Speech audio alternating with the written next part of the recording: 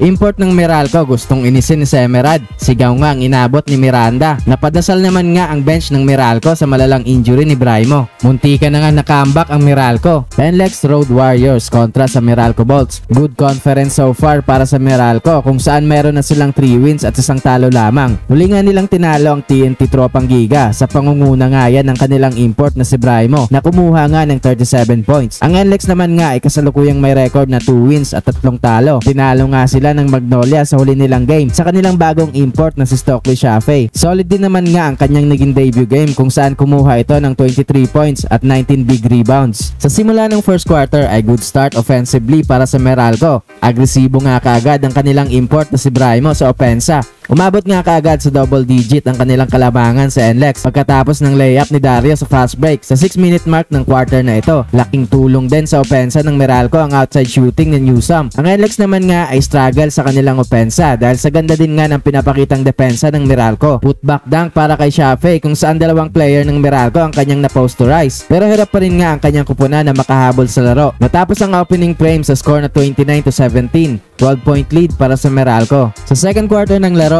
ay tuloy-tuloy ang hot shooting ng Meralco. Deep 3 point shot para kay Quinto. Ganda pa din nga ng pinapakitang depensa ng Meralco sa NLEX. Mainit pa din nga sa opensa si Braimo. Kaya naman pinipisikal na nga siya ni Semerad at Miranda sa laro. Baka sakaling mainis ito at mawala ang focus sa game. Pero hindi nga ito umubra sa kanya. Sinigawan pa nga si Miranda pagkatapos ng basket ni Newsam. Patuloy din ang paglobo ng kalamangan ng Meralco. Natapos ang second quarter sa score na 54 to 34. 20 point lead para sa Meralco. Sa third quarter ng laro ay palitan nga ng basket ang dalawang kupunan early in the quarter. Pero bigla ngang nag-take over si Braimo sa opensa ng Meralco kung saan mas lalo pang ang lumobo ang kanilang kalamangan sa kalagitnaan ng quarter. Umabot nga sa 29 points ang pinakamalaking lamang ng Meralco. Pero baba nga yan sa 20 points dahil sa ginawang run ng NLEX at the end of the quarter sa score na 82 to 62. Maganda din nga ang pinakita ni Bankero sa quarter na ito. Sa fourth quarter naman ng laro ay hirap pa rin nga ang mga bigs ng NLEX na depensahan si Braimo pero nawalan nga ng katulong si Braimo sa opensa ng Meralco cô.